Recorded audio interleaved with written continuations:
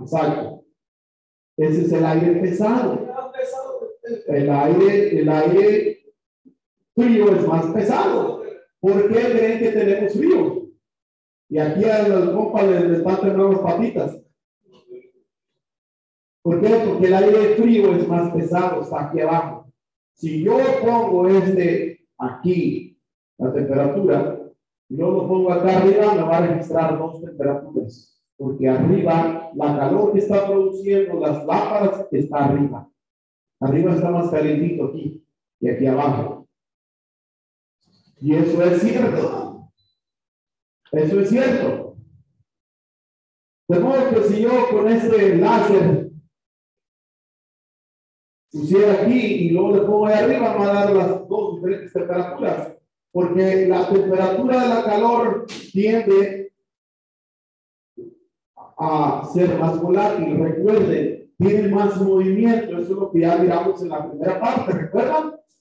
La primera parte que estábamos leyendo, las temperaturas, las moléculas de temperatura de calor tienen más movimiento. Tienden a estar en movimiento. Cuando hablamos de las temperaturas latentes, la temperatura sensible y los diferentes tipos de calor, recuerdan el, el calor por conducción, el calor por, ¿cuál era el otro? Por convención. El calor por convención es este que estamos hablando nosotros. Cuando nosotros estamos en el tiempo de, en este tiempo que está frío, y esto parece que viene en el, en el, en el este programa. Si yo tengo una casa de dos pisos, ¿Dónde va a estar más caliente? ¿Arriba o abajo? Cuando prendemos el, el calentón. Arriba. ¿Por qué arriba? ¿Por qué arriba va a estar más caliente? Porque el aire, las moléculas de calor son más livianas, son más volátiles de modo que se va a subir todo este de calor para arriba y abajo va a ser otra temperatura. No, ese es un helium, el helium. El helium es porque es, ese es volátil. Ese se levanta, vamos. ¿Ah? Ahora, los globos que utilizan, los globos de gas, esos que son para transporte, esos eh, los globos todos para transportarse, esos por medio de unos tanques que están metiendo aire caliente, lo están elevando. Es más, uno de ellos que nosotros hacíamos allá en nuestro pueblo, eran los globos. ¿Se acuerdan que hacían los globos? Con periódico, hacíamos globos con periódico. Y, y si no han hecho experimento, háganlo, pero en algún lugar donde no se vaya a quemar, porque, ¿verdad? Este, si hacíamos nosotros los globos con periódico y luego los prendíamos por lado de abajo, y lo caliente los levantaba. Y se iba volando, ¿verdad? Quemadero de cerro. allá donde caían, allá teníamos que seguirlos, porque si no, allá se quemaban. Pero por lo regular no eran muy grandes, rápido se quemaban y pronto este, no llegaban muy lejos. Pero no lo podías prender del tiempo de, la, de, de, de aire, pero ese era de ahí viene la termodinámica. Entonces, si, yo estoy con mi familia en pleno diciembre, ¿ah? y está ahí calientito adentro, y cuando dicen, cierra el se va a salir, se va a meter frío. No, no, no se mete frío. Se sale la calor. Porque las temperaturas que están adentro son volátiles, es más calientito, en cuanto le abres, pum, para afuera se pegan. Porque busca estar en equilibrio. La temperatura de afuera no entra para adentro, el aire de afuera no entra para adentro, al menos un aire no se empuje. Pero si es un día normal que no está este, no mucho aire, pues no se mete el aire para adentro. Más bien las temperaturas calientes son las que buscan salir afuera porque están en expansión, están volátiles. Hay como presión. Puede ser, ¿no? No, no, recuerda, no es presión, es una temperatura, es una molécula con mayor movimiento porque está a otra temperatura. Ok, recuerden eso, que son moléculas con mayor movimiento. Ok, entonces en la página número 26 miramos que estaban el pollo, el TXV y estaba el pistón que normalmente va a mirarlo usted en, en el, el aire acondicionado. Está el pistón y el mirror device en medio. Luego tiene, tenemos el tubo capilar, que ya lo habíamos visto la semana pasada. Y en la mano derecha tenemos en la página 26 el TXV. El TXV ya lo he mostrado anteriormente aquí. Y este, por ejemplo, es una marca que se llama Sportline y tiene el borde, aquí lo podemos ver. En la parte de arriba tiene el diagrama y la cabeza. Luego tiene unos pins. Cuando usted se haga de una de estas, la puede abrir y puede ver sus componentes. Las primeras que vayan a y cambie. Vamos a ver el TXV. El TXV. Voy a hablar de él porque no lo hemos tocado a fondo. El TXV, que quiere decir Thermostatic Expansion Ball, es el bulbo.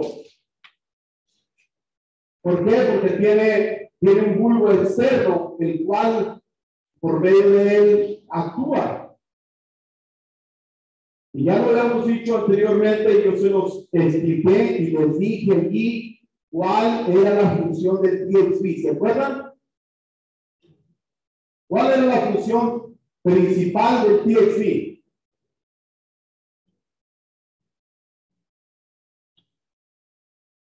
¿Recuerdan? No. ¿Recuerdan en sus notas? ¿Qué tienen en sus notas? ¿Cuál era la función principal del TXV?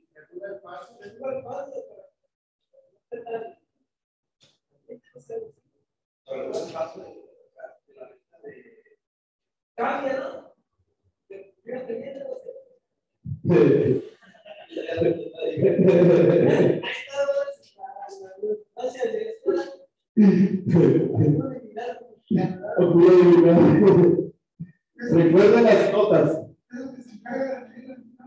Ajá. Sí. Ajá. Sí, sí. Ajá. Pero la función principal del TXT es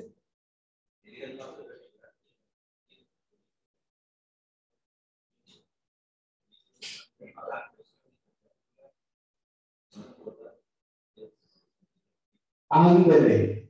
¿Ves? La importancia de hacer las notas. La importancia de hacer las notas. El TXV, yo les dije, ahí pásale, pásale la nota ahí que te copió. No le vas a poner a mi nota. ok, el, el que te lo diste nomás. Ahí que te lo diste, ya. Pero el trabajo del TXV era mantener, ¿verdad? Mantener el trabajo del TXV es mantener el supergir siempre, modular el supergir. Por eso tiene un bulbo externo. Ese es el trabajo del, del. Ahora, en la página anterior tenemos el fix. Este se llama fix mirror device. ¿Por qué? Porque no tiene partes que se mueven. Aquí mismo en, ese, en esa parte aquí.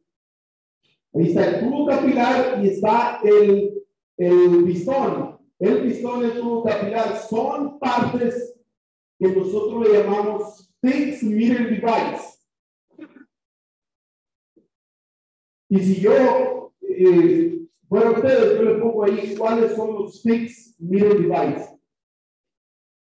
El mirror device que son fixed, que no tiene partes movibles, es el tubo capilar y el pistón. Y aquí se presenta en, en esta página.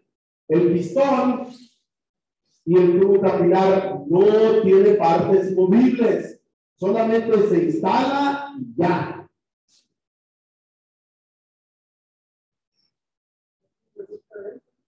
No, vamos a tomar 10 minutos de descanso y lo voy a ir a traer para que ustedes lo vean, para que ustedes lo, lo, lo miren, porque una cosa es verlo aquí en el libro y otra cosa es verlo en vivo y directo, ¿verdad?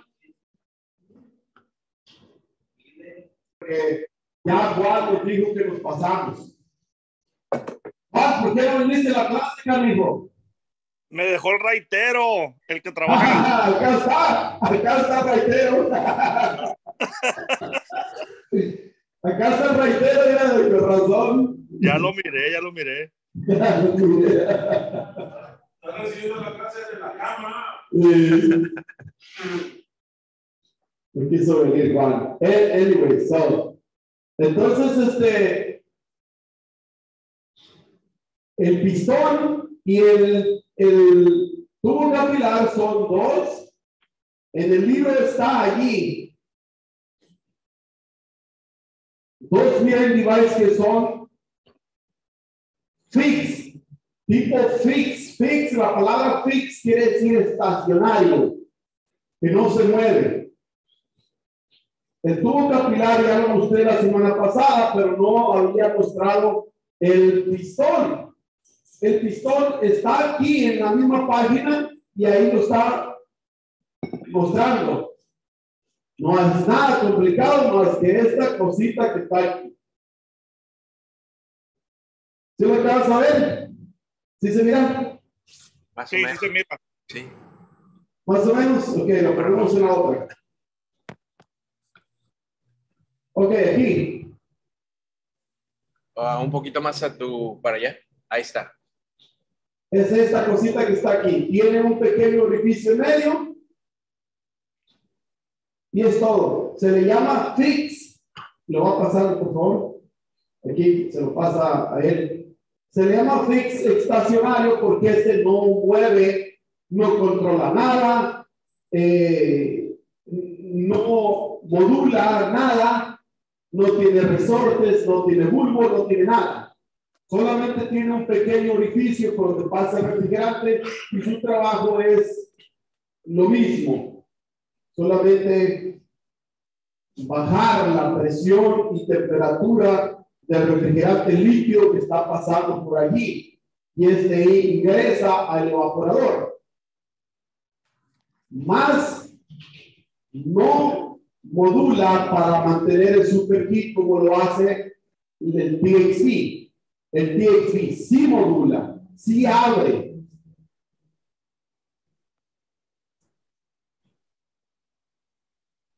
Y como podemos ver en la página 26, tiene sus componentes y hay dos tipos de TXVs. Así que apúntele, hay dos tipos de TXV, ahí está en el libro. Un tipo de TXV que se ecualiza internamente. El primer tipo de TXV es el que se ecualiza internamente.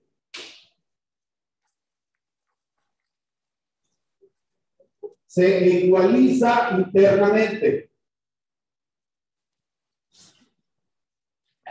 Luego, el otro tipo de TXV es el que se ecualiza externamente. ¿Qué quiere decir esto? El TXV que se ecualiza internamente modula por medio del resorte de diafragma, abre y cierra con la necesidad de abrir y cerrar basada en la presión del refrigerante. Pero el que se ecualiza externamente, el TXV que se ecualiza externamente es aquel que por medio de la presión del evaporador